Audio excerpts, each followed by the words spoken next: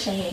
嗯，那么常州浙江温州，么子么子厂倒闭了什么的，我不知道了，你讲什么的呀？晚上也是在放吗？一直一来天天二十四个小时不停，从我来到我们去年买了半年了，一直没停过。呃，是这样子啊，我家播放音乐是我的一个自救行为。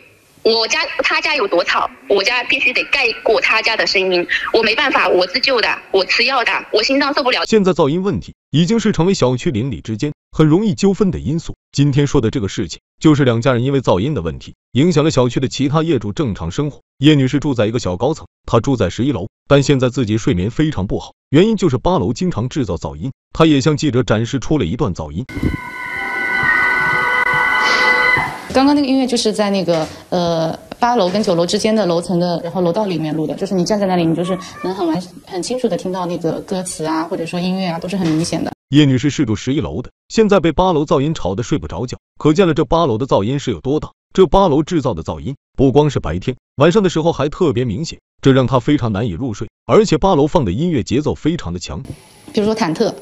然后那种喊麦的，特别是晚上的话就会比较明显，就是你躺在家里的床上都会有那种音乐的那种震动。然后我们现在的话，基本上楼下楼下的楼上楼下的业主晚上睡觉都是要戴耳塞的，不然你你根本很难入睡。这十一楼都能听见噪音，更别说酒楼的业主了。管女士住在九楼，对于楼下发出的噪音，她也是深受其害。我是就是四大元九零二的嘛，就一墙之隔，就是他那个就是那个叮咚叮咚的那个声音嘛，就是像蹦迪一样的，就是影响到我的睡眠呀。八楼之所以全天制造噪音，是因为八零一和九零一之间有矛盾，现在殃及了其他业主恩怨吧，导致现在就是八楼会长时间的播放音乐，不管是白天还是晚上，家里就会全天播放音乐，然后会影响到我们日常的一个嗯生活。八零一和九零一之间的矛盾也是因为噪音而起，双方矛盾闹了好几年。九零一的业主是受不了，搬了出去，现在把房子租给了其他人。租房表示，对于楼下制造的噪音，他是最直接的受害者，现在根本就无法入睡。是一直声音一直是放到地，好大声音，小孩晚上睡睡觉都不能睡。他咱们这房间有，客厅有，两个房间全没有，他不是一个人吧？是怎么样的声音？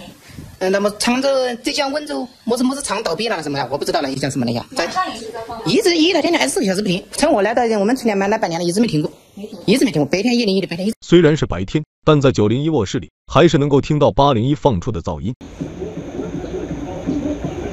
你听着，就像在马桶边上一样的，好大声音，就跟在我们房间一样的。八零一的业主现在是全天二十四小时不停制造噪音，让小区的其他业主深受其害。其他业主是非常无辜的，确实不清楚他们到底是因为什么样的事情演变成现在这样长达很多年的这种嗯互相的折磨嘛。但是就是我们现在就是嗯无辜的受害者，就是这一栋楼大家现在因为这件事情嗯大家在家都休息不好，不管是白天还是。但是八零一和九零一到底发生了什么事？记者终于是联系上了八零一业主。八零一的业主说，自从楼上搬过来之后，就制造噪音。去年装修好，一七年搬进来的，然后他们搬进来啊，就是比我们迟一个月嘛。我们楼上天天哒哒哒哒哒，你知道吗？那个哒哒哒声音很大的。他家就是一直不改的，然后我晚上睡不好，然后的话白天你知道吗？我又要上班。有一次我过马路，差点被车给撞了，因为人是恍惚的，你知道吗？他走路的声音晚上也会有吗？我跟你说，他们半夜起来，什么时候上厕所，我们什么时候就要被吵醒。然后我跟你说，他不止上厕所，他们他们之前啊，小孩啊，读书啊，每天六点零几分就要起来。我们家每天六点零几分准时把我们吵醒，就是楼上做什么事情，你们楼下都能听得到吗？一清二楚。他那个木板装修是有问题的，下面是空洞的。八零一的业主指责九零一经常制造噪音，而且家里木板装修有问题，所以噪音就特别的大。事情到底是不是八零一所说的？记者也联系上了九零一业主。我们楼上吵，其实我们楼上是不吵的。他他那个人呢，就是听声音比较敏感，嗯，然后就是我们楼上，你就是不能有一丁点动静，他有有一丁点动静，他他都觉得他都觉得就是受不了。就比如说我我早上就手机上闹铃啊，就是震动的那种闹铃声，他他说他楼下都能听到。你说像这种情况，那我们能怎么办呢？就是我们之前，嗯，他说我们楼上吵嘛，让我们换鞋子啊，买那种什么静音拖鞋呀、铺地毯啊什么的，我们都弄过了，弄过了，他他还是觉得吵，我们也是没有办法。你们原先家里是住了几个人啊？原先原先家里我就住两个人，就我跟我儿子两个人啊。然后我儿子上学，我上班，我都上白班的，我又不是说三更半夜回来。我们现在都没住家里了。为什么搬走啊？他那下面吵的那个声音，那种声音我们我们听了也受不了，所以我们那也也没法住。他是从什么时候开始播放音乐的？两三年前就开始放音乐了吧？太吵了，我儿子也也没法睡。然后我我也我我被他吵得经常失眠，我也睡不着。后面我就外面租房子住。九楼的业主说，是八楼的业主对声音太敏感了，自己家里都不敢弄出一丁点声音。不然的话，八楼就会找他们麻烦。他也想过各种的办法，但八楼还是反映有噪音。八楼一直制造噪音，也让他们无法入睡。没办法，他们才把房子租出去。他们把房子租出去了，他并不是解决问题，他而是逃避问题。就是现在租户住在楼上，你还是觉得很吵吗？不是，我觉得吵，事实就是很吵。现在他们反映说你们家好像可能二十四小时都有在播放音乐，是吧？我跟你说是这样子啊，我家播放音乐是我的一个自救行为。我家他家有多吵，我家必须得盖过他家的声音。我没办法，我自救的，我吃药的，我心脏受不了的。晚上你自己家里放音乐，你也休息不好呀。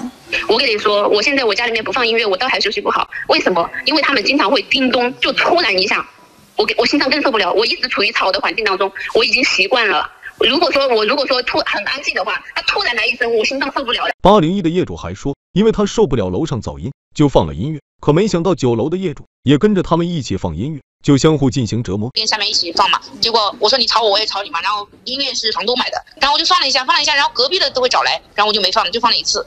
八楼和九楼矛盾已经延续了好几年，如今已经影响到其他业主正常生活。现在因为八零一和九零一之间的矛盾，让其他业主不能正常的休息，邻居们是苦不堪言。希望八零一和九零一能够好好把问题解决了，给大家一个正常的生活环境。那我觉得邻里关系嘛，和睦相处的是最好了，是不是啊？有什么事情都可以来协商嘛。呃，你们这栋楼的隔音怎么样？隔音一直都不好的。你们家也能听到楼上的这个声音？那也能听到呀。那我觉得他有时候我们接受吗？那我觉得这个不是业主的问题啊，呃，不要就是正常生活不要影响到，我觉得都能接受。就是八零一的人，他原先就是也来找过我们，就说他说我们有可能就是走路啊，声音，嗯，就是吵到他。那我就不知道呀，因为我不是跟他上下楼呀，我只是隔壁单元嘛。再后来呢，他呃推荐给我们买了静音拖鞋，那我们买了，我还买了那个呃瑜伽。对此，八零一提出了自己要求，他希望九零一重新装修地板，并且要给自己精神赔偿。来拿地板重新装呀，然后这么多年对我家造成的伤害呀，一万块钱呀，对不对？然后还有我家的锁被他给敲坏的，锁赔给我。我们怎么可能赔偿他损失？他不赔偿我损失就好了。我我在外面租房子都好几年了，就算就算再把什么地板装修啊，什么什什么都再弄一遍，那他还是能听到声音啊。你又不可能，呃，楼上一直就是没有人。两家人的争端已经这么久了，那么物业在其中有没有调解呢？并不是说我们物业不管，真的是管不了，你知道吧？我们物业这边怎么调解调解不好，我跟社区都上很多很多次了。物业非常的恼火，跟双方调解了很多次，双方都不退步，事情就一直僵持着。现在因为噪音的问题，业主们也是多次进行报警，派出所民警也只能从中进行调解。这个八零一和九零一啊，这关于这个噪噪音的纠纷问题啊，这个呃都是有有过多次的报警。那么我们每次接警以后呢，呃都呃到现场啊进行了这个调解处理。后面呢，我们也专门把他们双方啊啊叫到派出所啊进行了调解。但是呢，因为双方各自有各自的意见，一直未能达成一个协议。民警也表示，现在八零一和九零一的做法已经是将矛盾持续升级，想解开心中的心结非常难。但派出所会继续对八零一和九零一调解。噪音的问题啊，也日益的突出啊。我这个是建议大家啊，大家多包容、多理解啊，这个不要这个互相的啊，互相的互互相的相互之间的就制造噪音，呃，更把矛盾更加激化。我作为公安机关，我们也会主动的靠前，和大家多聊一聊，积极的啊沟通啊，促进这个矛盾的解决啊，呃，然后使大家都有一个这个安静的生活环境。